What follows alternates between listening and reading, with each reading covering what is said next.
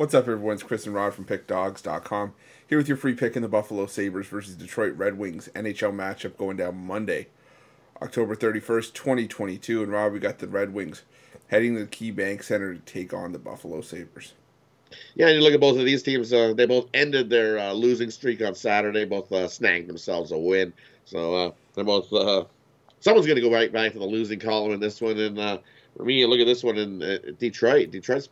I know know they're on the road, but uh, they've won the last four meetings uh, against Buffalo. And you look, uh, the road team is ten and four the last uh, 14 meetings between these two teams.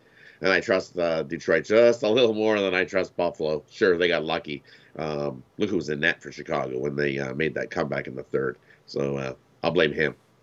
so we're gonna go with Detroit here. I think they're the better team over overall in this one, and I think they snag themselves a win. Yeah, I'm going to take Detroit as well, mainly because of what Rodd said. You know, that the Red Wings have had the recent success against Buffalo, and you know, when you play a division opponent, even if you go back to last year, those trends seem to mean just a little bit more because these are the teams you play, you know, few, multiple times a year.